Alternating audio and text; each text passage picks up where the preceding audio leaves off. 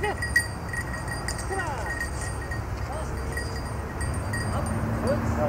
Cliff, let op. Apport. Cliff. Ik ben blind sinds mijn veertiende. Uh, althans totaal blind. Daarvoor was ik, uh, zoals ze het noemen, maatschappelijk blind. Dat wil zeggen dat je minder dan 5% ziet. En uh, dat is dus al zo weinig dat, dat je naar de brailleschool gaat als je 6 jaar bent. Bank links, bank links.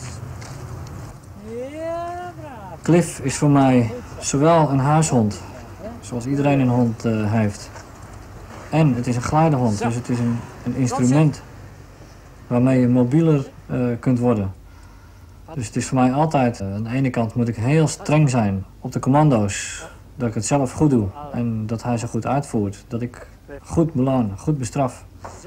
Omdat ik anders gewoon het geleidewerk, zoals dat heet, ja, laat wegzakken. Uh, en dat moet ik gewoon een pijl zien te houden. Dus ik ben altijd aan het trainen met hem en aan het uh, erop toezien dat het allemaal goed blijft functioneren. Goed zo. Hè?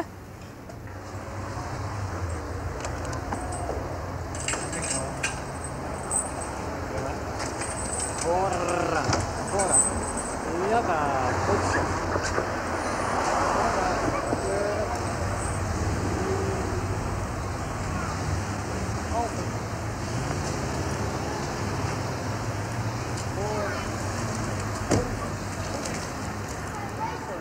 Als ik de tram instap, dan zorg ik ervoor dat ik aan de kop van de halte sta. Omdat ik het liefst bij de chauffeur instap. Welke tram is dit?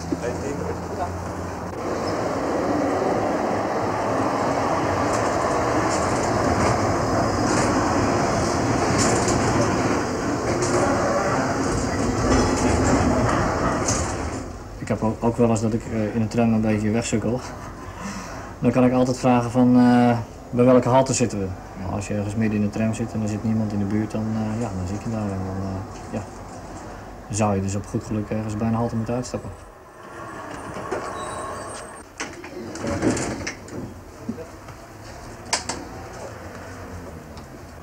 Goed. Meneer? Ja, braaf. Goed zo. Vooraan. Ja, braaf.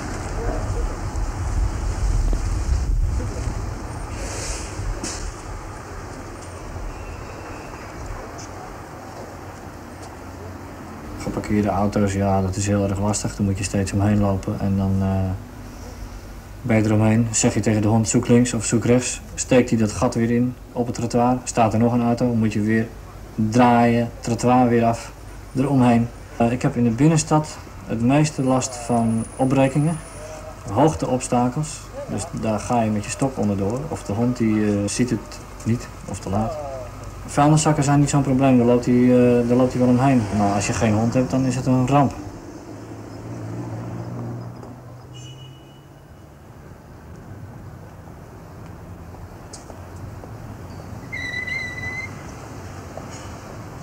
Rijdende fietsen zijn een heel groot probleem bij verkeerslawaai. Ik ben banger voor fietsen als voor auto's.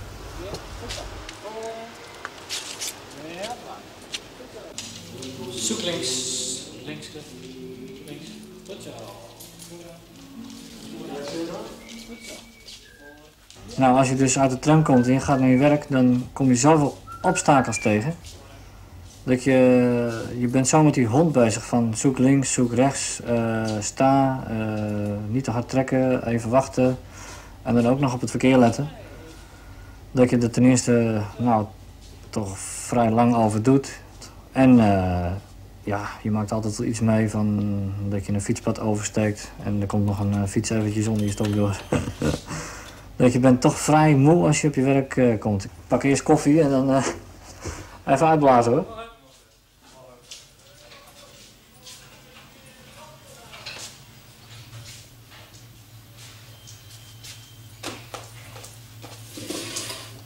Plaats. Goed zo. Zo is die braaf.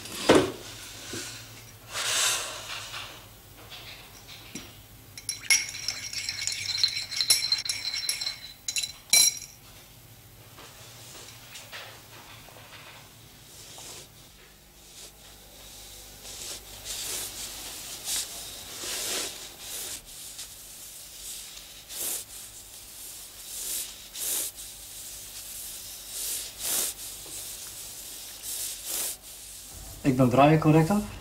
Dat wil zeggen dat uh, mensen die teksten omzetten in braille, dat is studiemateriaal bij ons, die moet ik uh, corrigeren.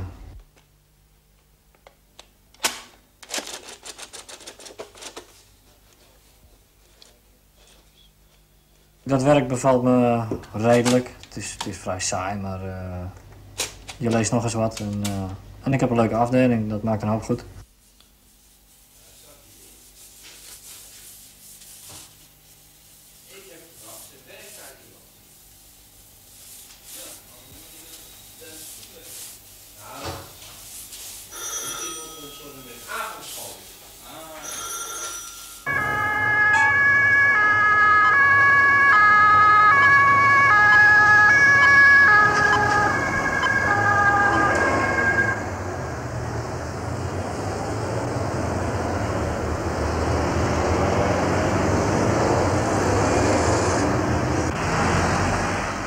Het verkeer is vrij visueel, hè? dus je hebt uh, veel uh, rood en groen lichten, uh, borden. En tegenwoordig hebben ze dan rateltikkers bij de stoplichten op een aantal locaties. Dat wil zeggen dat als het stoplicht voor de voetgangers op rood staat, dan geeft hij een langzame tik.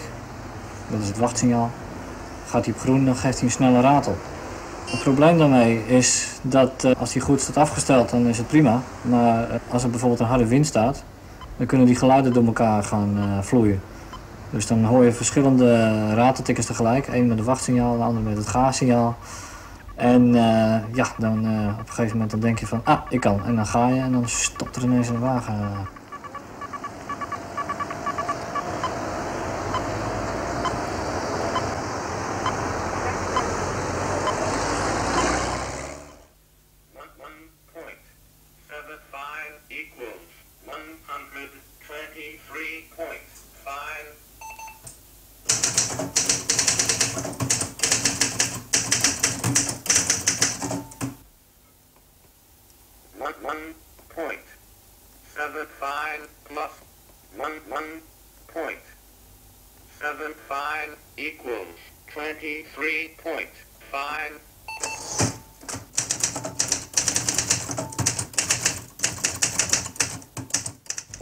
Geen gemiddelde blinde. Want ten eerste loop ik met een hond. En van de pakweg 6000 blinden zijn er misschien 300 uh, mensen met een geleidehond. Dus de meesten die lopen met de stok. Dat doe ik ook wel eens, maar... En nou, misschien wel de verreweg de meeste, bejaarden en zo, die laten zich dan door mensen begeleiden. Dus een gemiddelde ben ik zeker niet. Of ik me vrij beweeg, ja. Ik uh, probeer het. Uh, ik, ja, je beweegt je nooit zo vrij als een ziende. Dat is uitgesloten. Maar hoe bekender je met de situatie bent, neem je eigen huis, dan kan ik me natuurlijk redelijk uh, vrij bewegen. Ik loop zelf wel eens met een stok, want uh, je kan niet overal je hond meenemen. En ik wil het ook een beetje bijhouden, want het is een speciale techniek. De metro vind ik een heel handig vervoermiddel. Dat, er zijn verschillende voorzieningen voor blinden aangetroffen. Dat is ten eerste op het Weesperplein en op het Centraal Station zitten op de trapleuningen braille aanduidingen. Dus je weet, deze trap gaat naar het Amstelstation of richting, hoe heet dat, Gaaspelplas en Gein. En dat zit dan altijd op een vaste plaats, aan de rechterkant bij de knik in de trapleuning.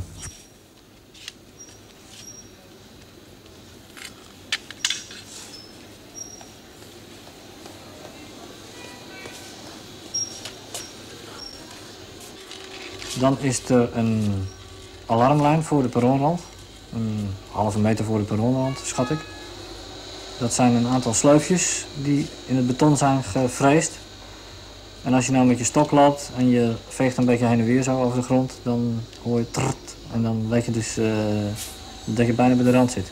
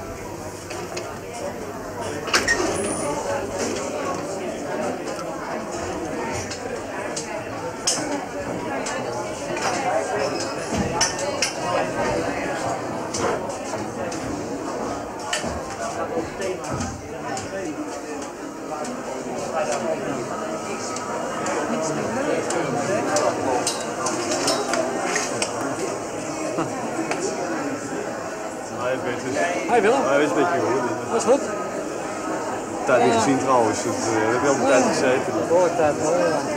Zei je dat? Dat is behoorlijke tijd geleden. Ja, bijna nog drie kansen. Ja, jonkie.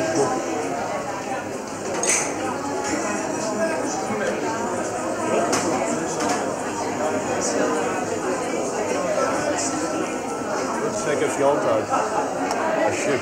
Ja, Ik bedankt. zal met zal ik even op de tijd Ja, schrijf maar even op. Eh, Amsterdam is eh, aan de ene kant natuurlijk erg moeilijk, maar hè, vanwege het lawaai en eh, de drukte. Wat ik van Amsterdammers vind, is dat ze je heel makkelijk helpen. Ik heb eerst ergens anders gewoond en dan kwamen ze dan bij je van... vindt u het heel erg als ik u even help? Of hè, een beetje dat benepen, dat... huh. Amsterdammers roepen gewoon van je kan over hoor. dat vind ik wel handig hier. En er zijn ook altijd mensen, als je gewoon midden in de nacht verdwaalt.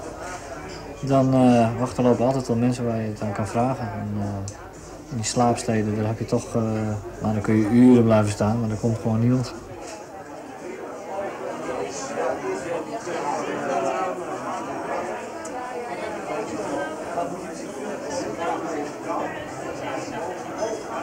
Ik heb jou je neven op zitten drinken.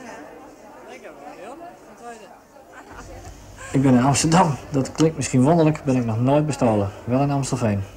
Ben ik in één jaar tijd drie jassen kwijtgeraakt.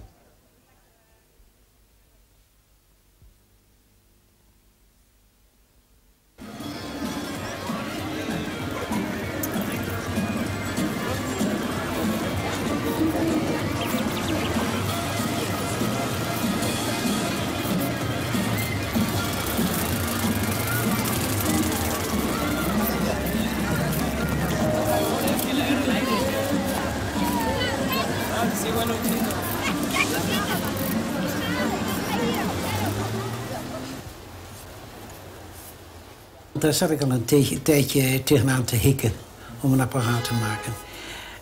Eigenlijk is het uit de, uit de werksfeer gekomen. Ik werkte in die tijd, maakte etalages en kreeg ontzettende pijn bij het staan. En toen heb ik me een stok gemaakt met een plankje erop in de vorm van een zadel. En zodoende, zo kon ik me toch aan een werktafel kon ik bezig zijn, staande. En ik heb eh, die stok toen met zwenkwieltjes willen verbinden. Maar daar kon ik dat geval toch niet meer besturen. En toen ben ik doorgegaan om iets te bedenken dat ik al staande zou kunnen werken, me zou kunnen verplaatsen, me om een as zou kunnen draaien, zodat ik eh, op één plaats eigenlijk een, een, in het midden van mijn attributen zou kunnen staan en op die manier zou kunnen werken.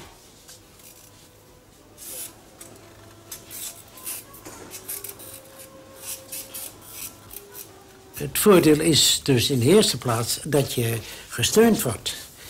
En wat bereikt is, dat je om je eigen as kunt draaien. En dat komt hoofdzakelijk doordat de twee wieltjes zo aan het zadel gekoppeld zijn... dat je met het zadel die twee wieltjes tegengesteld eh, laat wenden.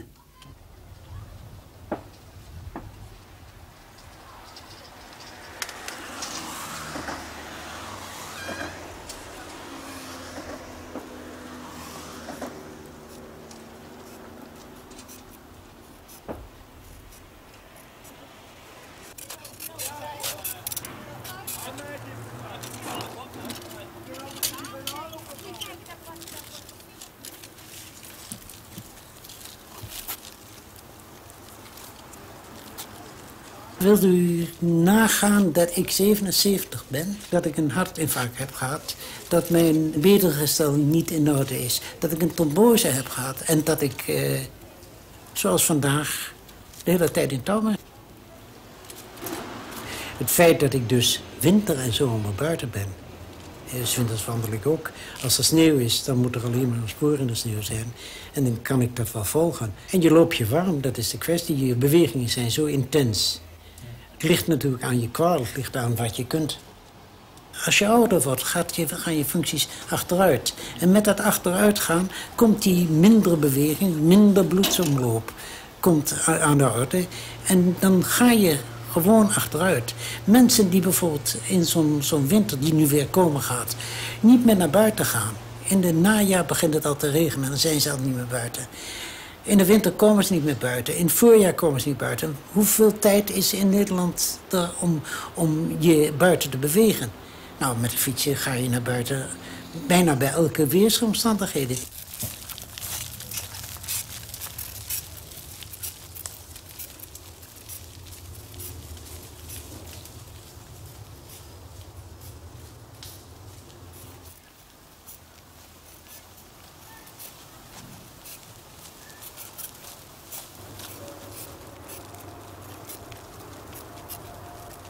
Ik wandel graag in de parken. Amstelpark, Gaarsperplas, Amsterdamse Bos. Het liefste loop ik eigenlijk in een wereld die ik niet ken. Die, die kans heb ik niet altijd. Maar ik, eh, ik, heb nog altijd, ik zou het liefste eens een keer nog eens een tocht maken door Nederland. Dag in dag uit.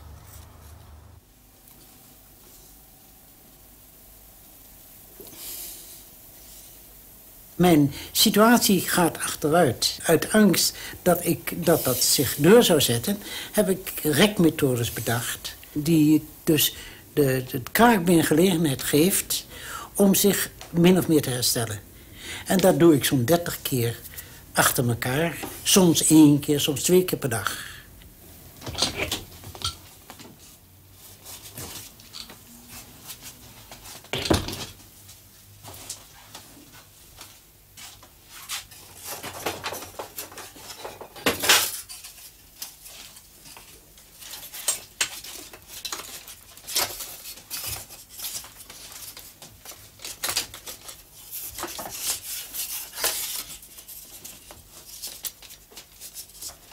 Nou. Nog niet direct dat wat ik wil. Dat zal ik anders moeten oplossen. Iets wat me dwars zit, dat is dat ik over het strand niet naar, naar het naakstrand kan. En ik probeer dus het eh, vlak van het uh, wiel, dat al vrij breed is, nog breder te krijgen door er een band omheen te leggen. Maar ik heb de indruk dat dat me niet lukt. Ik zal iets anders moeten bedenken nog. Maar het komt er wel uit, hoop ik.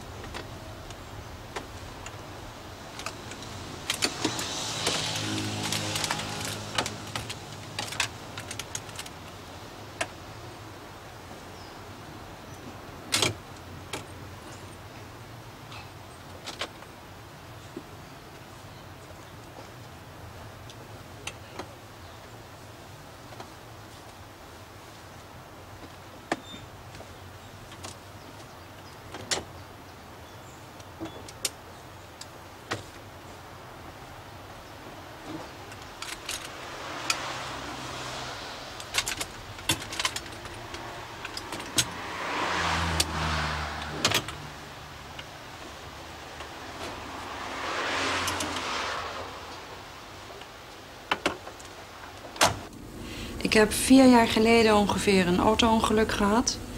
En toen heb ik mijn rug gebroken, waardoor ik een dwarslesie heb.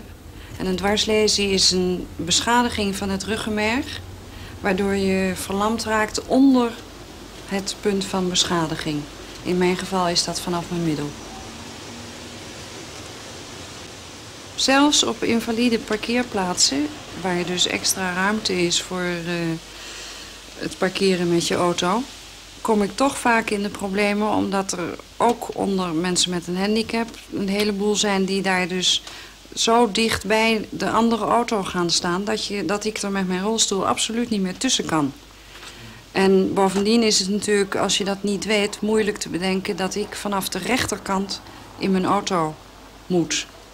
Niet vanaf de linkerkant zoals normaal zou zijn.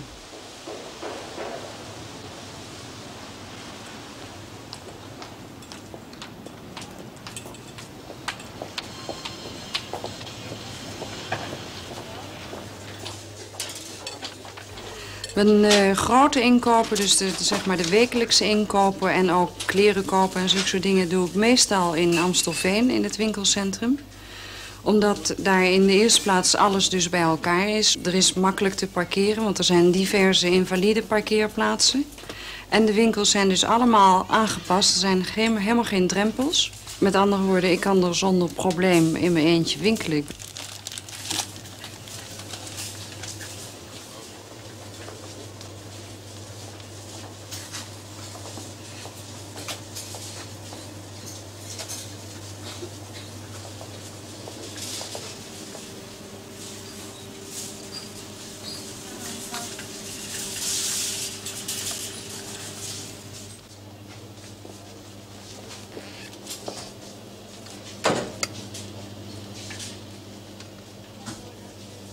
Mevrouw, kunt u misschien mij wat van die broodjes dingen geven? Ja, natuurlijk. Bij. Kijk eens, Dank u wel. alsjeblieft.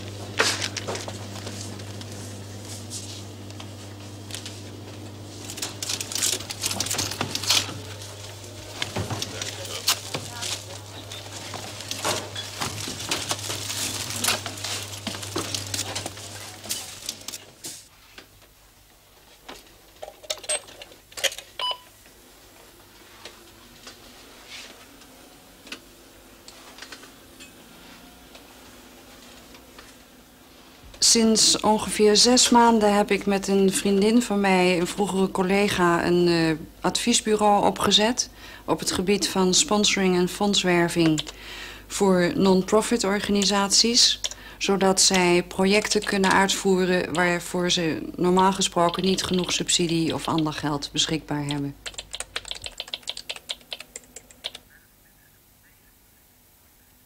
Dat is best. Ik zal naar u toe komen, dat lijkt me het handigste. Tenminste, dat hangt er enigszins van af. Hoe bent u gesitueerd? Ik zit in een rolstoel namelijk, dus ik moet weten of ik binnen kan komen.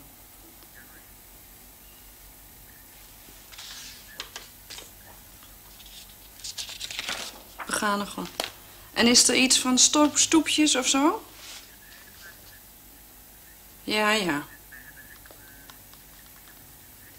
Oh, dat is dat is keurig, dan is dat geen probleem.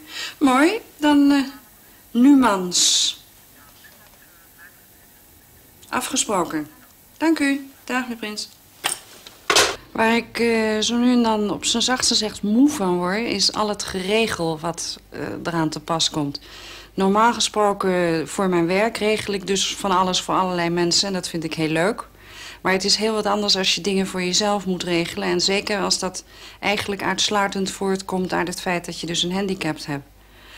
En dat is ontzettend... Ja, het is nooit leuk om iets voor jezelf te moeten regelen... omdat dat bijna altijd een negatieve oorzaak heeft.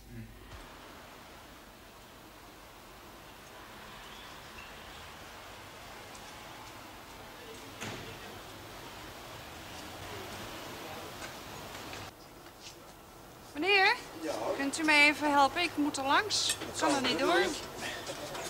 Dat zal wel gaan, hoor. Ja, goed zo.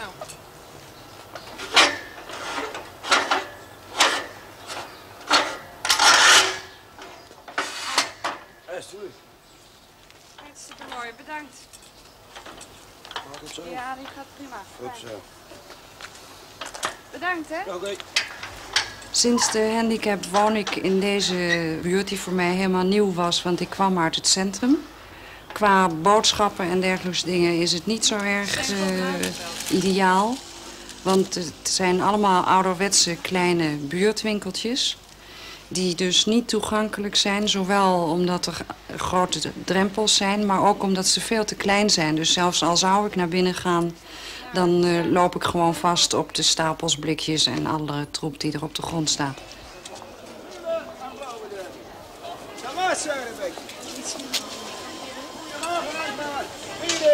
Goedemiddag meneer. Uh, ik wou wat witte druiven hebben. Druiven? Kilotje. Ja, je mag het teruggeven ook weer hoor. Eerste kwestie. Wijn en wijn. Ik vind Amsterdam gewoon een ontzettend gezellige stad. En ook dus omdat de mensen heel spontaan zijn over het algemeen. Hè? Je hebt hier in Amsterdam bijna nooit het probleem dat mensen alleen maar naar je kijken... en zodra ze merken dat je dat in de gaten hebt, dat ze dan uh, vlug opzij kijken. Maar ze zijn veel opener, dus er wordt ook veel vaker gewoon gevraagd... van waarom zit je in die stoel en dan geef je daar antwoord op. En als je geen zin hebt om antwoord te geven, dan zeg je... je hebt er geen bal mee te maken.